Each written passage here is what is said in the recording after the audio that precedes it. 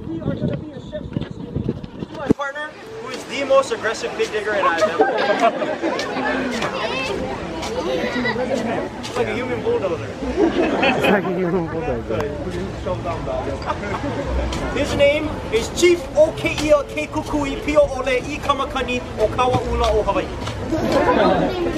If you can't pronounce his name, he's not gonna let you eat. Am I a can I buy a vowel? that is priceless. See what I did there? Buy a vowel, priceless. I'm gonna be your Hawaiian Master of Ceremonies. My name is Chief Nick.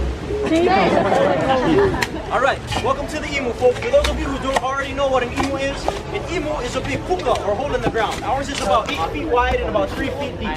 Now, early this morning, we got up here we started a large fire with a mesquite type of wood called kiawe. Now, kiawe wood burns nice and hot and it gives off a nice smoky flavor. So this is the reason why we use kiawe wood when we cook in the ground. Now, once we get our wood nice and hot, we get the fire going, we throw a bunch of rocks in our fire. Now these rocks have a lot of little holes in them. They act like charcoal. This is what cooks our pig. It's our heat source. Does anybody want to take a big guess at what type of rocks we use? Lava. Lava!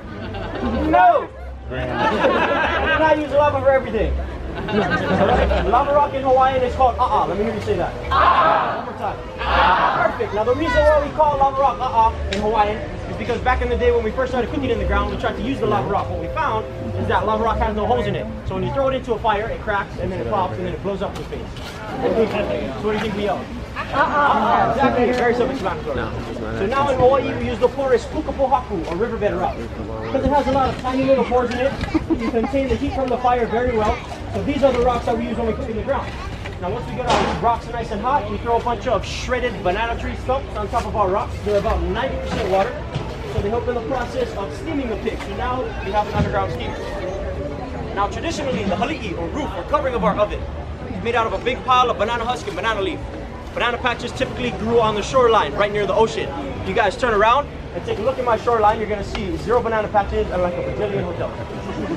so now we use hotel bed sheets. They work just the same. you guys are laughing like I'm making a joke, but if you're staying at the Sheraton, you're bumming it because it's yours. In the early 1800s, the missionaries came. They left burlap bags on our shorelines. We found out that these were recyclable. We decided to go green.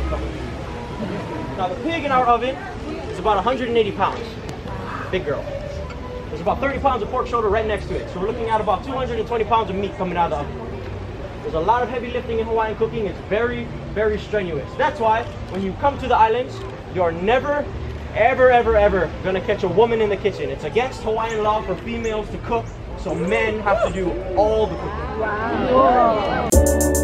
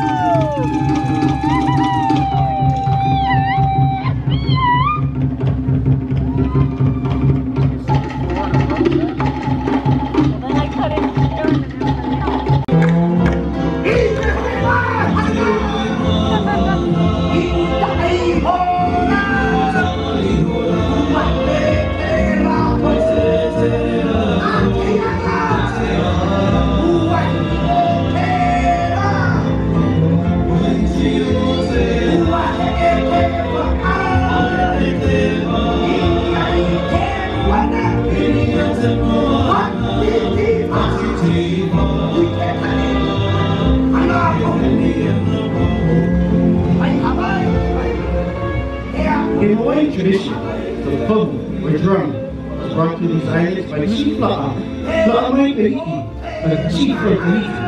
The drum is placed in our heiau or temple worship and was used for religious ceremonies. It is the same La'a that will teach a new tradition, simply called the hula pahu. Today, the early generations, the hula pahu has evolved to be one of the most dignified of all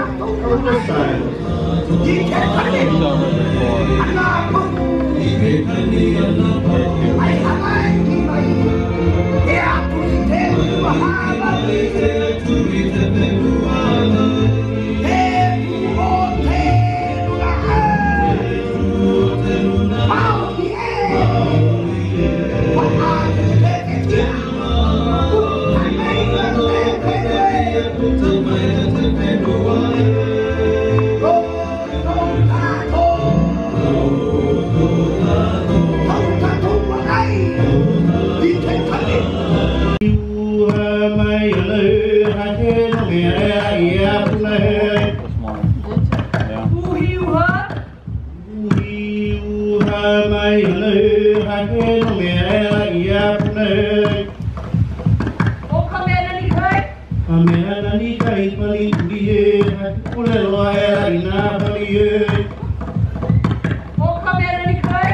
styles.